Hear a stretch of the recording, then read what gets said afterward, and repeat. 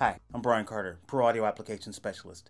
The new Clip Gain feature in Pro Tools 10 brings some new functionality between Media Composer and Pro Tools. Video editors are focused on assembling video clips to tell the story, but they constantly are making adjustments to the audio volume. Now to make those volume adjustments, I simply put the cursor over the clip and then I can use the audio mixer to make my volume changes. Now I can also use RTAS plugins and the plugin and the setting will be exported with the AAF along with any clip gain that I've done. Macau isn't just a haven for gamblers. It's a mecca for all the vices known to man. Exporting from Media Composer to Pro Tools is simple, and remember the AAF will include clip gain, plugins, and any track settings.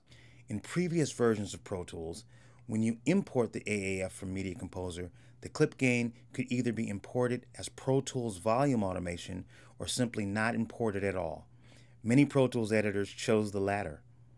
With Pro Tools 10, you can directly import clip gain from Media Composer, and the clip gain stays with the clip.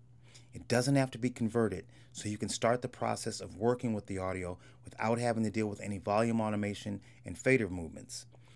Now you can render the clip gain into the clip so you'll have a clean slate to start making any new volume adjustments. Or, if you don't want to keep any of the editor's volume changes, you can remove all clip gain.